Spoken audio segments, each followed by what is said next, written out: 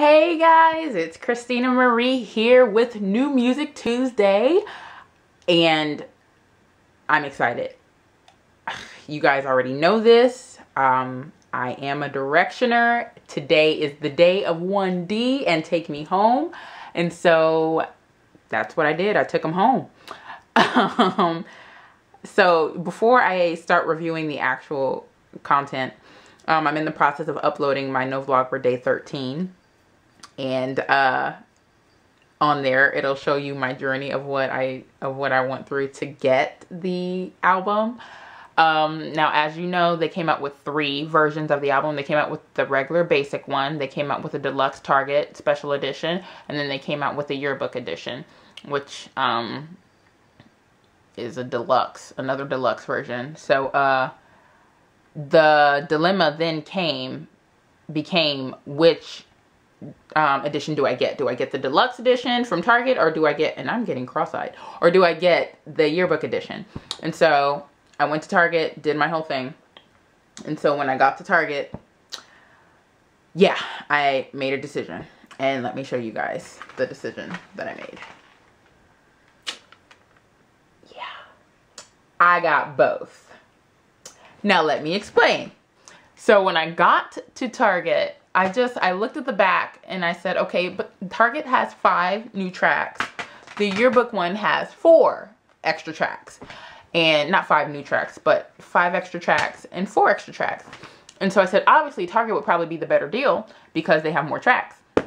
But then um, I just couldn't decide because the yearbook edition is so freaking cute. And on the inside, they have like different pictures of like the guys with their fans and the guys talking about each other. Like there's a page on Liam talking about, I mean, sorry, there's a page of Liam with the guys talking about Liam, page of Zayn with the guys talking about Zayn, Louis, Harry, Niall. So that was really cool. I mean, it just uh, documents their whole two years as One Direction. It's been two years. So um, I thought that was pretty awesome. And so I also wanted to get the Target edition because they have different songs, so I couldn't just choose. So don't judge me. But anyway, on to the actual content. You guys know how excited I was. You they released a streaming, a live streaming of their uh, album about a week or so ago. So I was listening to it every day up until the release uh, at midnight, which is when they took it down because they had to release it. Um, so this morning when I woke up, went to Spotify, there it was. I got it, started streaming it, and just getting myself excited and in the mood for the day of 1D. Ah! Um, so went to Target, picked up both albums, listened to all the tracks, and I already have my favorite track. So let me tell ya. Okay, so from the basic set list, like the basic tracks, uh, my favorite out songs are Kiss You, Little Things, Last First Kiss, I Would, and They Don't Know About Us. I think that's what it's called. Yeah. Um, of those five that I listed, Last First Kiss is my favorite. Now, the reason why I love, love, love this album so much is because they actually participated in the co-writing of some of the songs. And I believe Last First Kiss was one of the songs that they co-wrote.